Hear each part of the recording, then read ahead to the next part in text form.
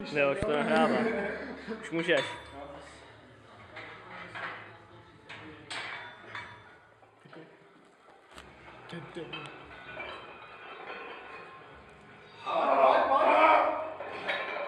To bylo jako všechno, jo?